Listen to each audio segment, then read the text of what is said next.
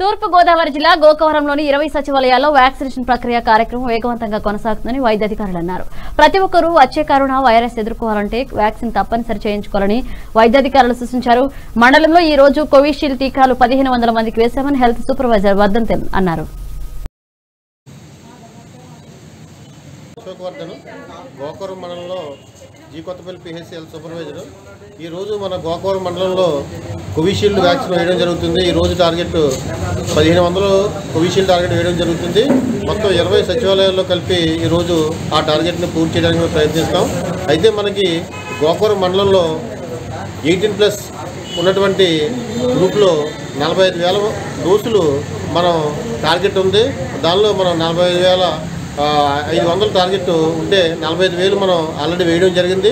Second డోసులు ఇరవై ఆరు వేల ఐదు వందలు వేయడం జరిగింది. ఈ విధంగా ఇంకా ఎవరైనా వేయించుకోకుండా ఉన్నటువంటి వారు అర్జెంటుగా వచ్చి ఆ వ్యాక్సిన్ వేయించుకోవాల్సిందిగా కోరుచున్నాము. మనకు తడువే వస్తున్న కారణంగా ముందు జాగ్రత్తగా ప్రతి ఒక్కరూ తప్పనిసరిగా వ్యాక్సిన్ వేయించుకొని తమ ఆరోగ్యాన్ని కాపాడుకోవాలి. తమ ఆరోగ్యాన్ని కాకుండా మన సమాజానికి కూడా ఏ ఇబ్బంది లేకుండా ఉండాలని అలాగే వ్యాక్సిన్ వేయించుకున్నా కూడా ఎవరు భయ ఎవరు కూడా అజాగ్రత్తగా ఉండకుండా మాస్కు శానిటైజరు సోషల్ డిస్టెన్స్ పాటించి ఈ యొక్క కరోనా నుండి తప్పనిసరిగా రక్షణ పొందాలని మేము తెలియపరుస్తున్నాం హెల్త్ డిపార్ట్మెంట్ తరఫున.